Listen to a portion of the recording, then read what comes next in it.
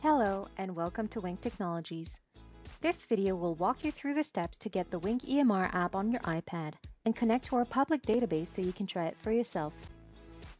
If you would rather open Wink EMR on your computer, please click on the link in the description below and fast forward this video to 55 seconds.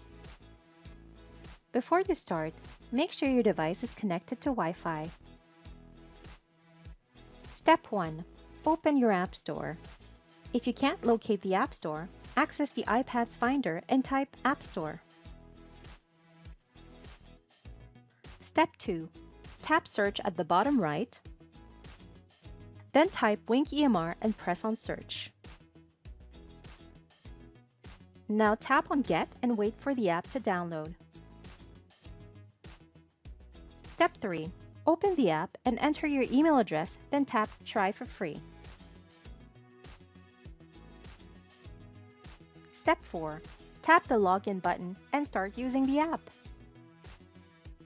You can select an existing demo patient file or create a new one by tapping on Patient File.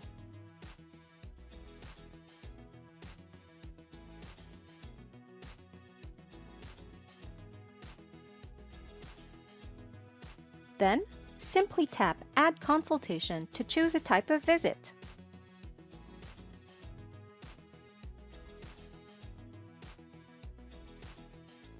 Please keep in mind that this is a shared public database and many of its components are created by various individual for practice or trial purposes and that it may not reflect Wink's best practice.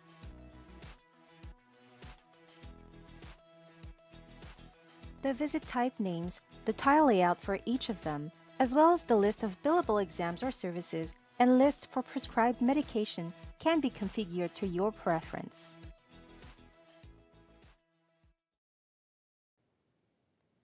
Thank you for choosing Wink. We hope you'll enjoy using our EMR.